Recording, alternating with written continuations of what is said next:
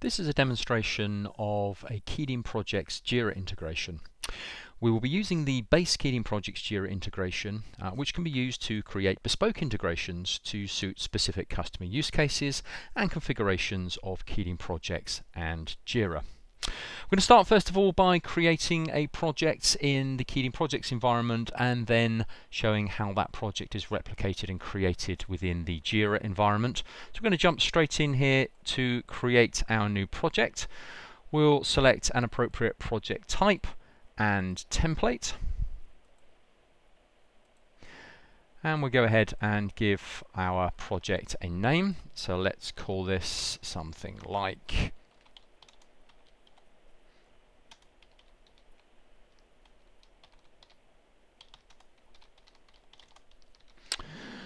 and we'll go ahead and save that. If we jump across to the project search, we can see our new project has now been created. There it is. And in this particular example of the configuration, the trigger for creating project in Jira is a move of the project from one status to the next. So a movement through a gate from one stage of the project to the next stage using the standard KeyedIn projects workflow or lifecycle capability. So I'm going to go ahead and do that now. I'm going to move our project onto its next stage, moving it to project planning. We'll do that now.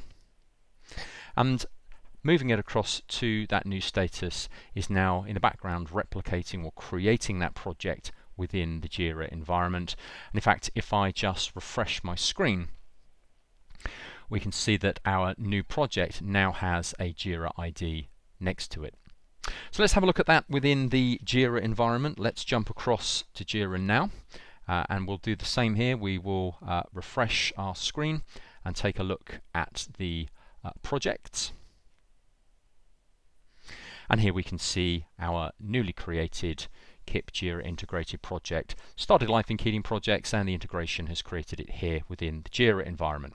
So what I'm going to do is to drill down into our Jira project now and create some issues to work with. So in the backlog, first of all, I'm going to create a few issues. Uh, we'll call this issue number one. Issue number two. Issue number three and then finally issue number four. So all of those issues created in the Jira environment currently sat in the backlog. They're now being replicated uh, in real time into KeyedIn projects. So let's go ahead and take a look at that. If we jump back to KeyedIn projects and we drill into our new project, we'll take a look at the task plan area.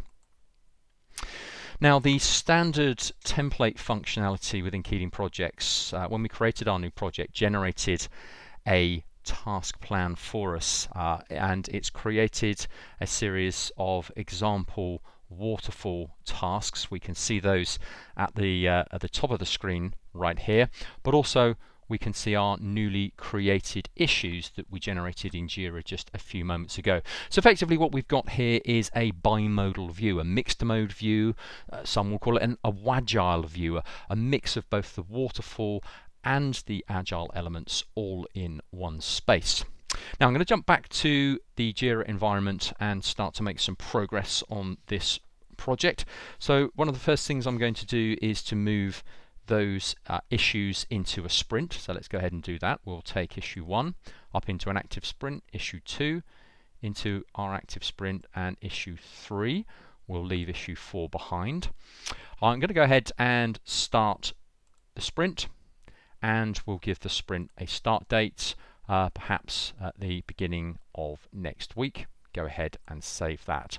So that change now of moving our backlog issues into the sprint is being replicated back into KeyedIn projects along with the start date of that sprint being used to drive the start date of those tasks being created again in that KeyedIn projects environment.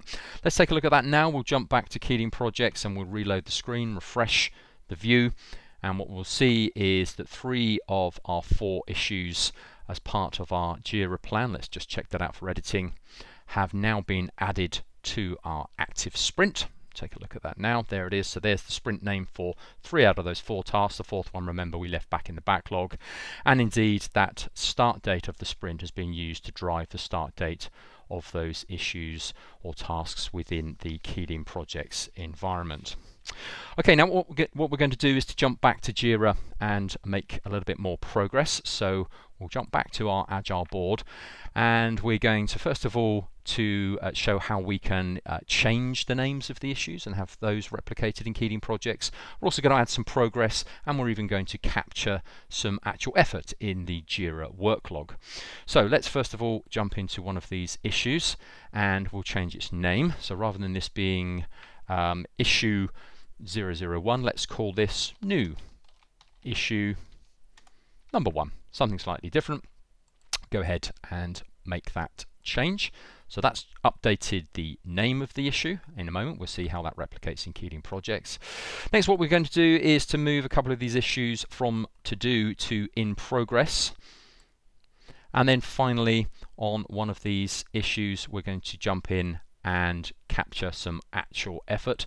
So we'll do that by logging work within the Jira environment. I'm going to say that we spent three hours working on that particular issue. And we'll go ahead and save that. Okay.